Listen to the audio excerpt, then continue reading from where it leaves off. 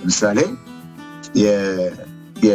በትግራይ ትግል ጊዜ ከፍተኛ መሪ የነበሩት ጀነራል ሰሞራ ወጥተው ስላልተናገሩ ይሆናል እንጂ ከመንግስት ባለስልጣኖች ጋራ በተለይ መከላከያ መሪዎች ጋራ አለቃችሁ ነው ተብለው ተነግሯቸው ጀነራል ሰሞራም ተመልሷል።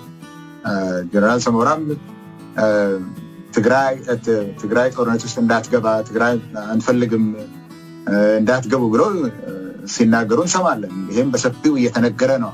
ወደ ስራቸው ወይም ወደ አለቅነታቸው ተመልሷል እየተባለ ስለዚህ አስገራሚ ነገሮች በኢትዮጵያ ውስጥ እየተደረጉ ነው።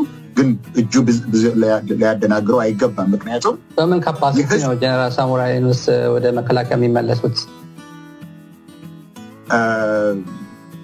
በኢተማዦር ሹምነት ነው? በአማካሪነት ነው? እንዴ በምንድን ነው የተመለሱት? አሁን ወሬውን እዛ ላይ እንደተጻፈ እንዳየው እሳቸው አሁን እየተባለ ያለው እሳቸው ማይክሉትም ጀነራል ሰሞራ ማይክሉትም የሚባለው ያለው ጀነራሎች ከሜጀር ጀነራል በላይ ያሉት ተሰብስበው የቺፍ ኦፍ ስታፉም የዴፒቲ ቺፍ ኦፍ ስታፉም ባሉበት ከአሁን ጀምሮ አለቃችሁ እሱ ነው የተባለ ነው። ግን እንደሚባለው ከእሳቸውም የመጣ ነገር እንደሚነገረው የግብፅን የግብፅን ወረራ ለመከላከል ፕላን እንዲያወጡ ነው ነው መመለሳቸው ግን አከራካሪ አይደለም።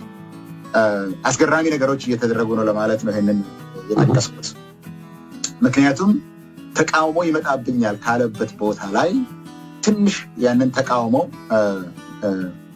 ለማሳነስ፣ ለማድበስበስ፣ ህዝብን ለማደናገር የሚያደርጉት ነገር ነው ነው የምልህ። በየቦታው እያደረጉት ነው። እንዲህ አይነቱን ነገር በየቦታው እያደረጉት ነው። ጉዳዩ ግን ጉዳዩ ግን በእንደዚህ አይነት የ public relations stunt ሊቀር የሚችል ነገር አይኖርም።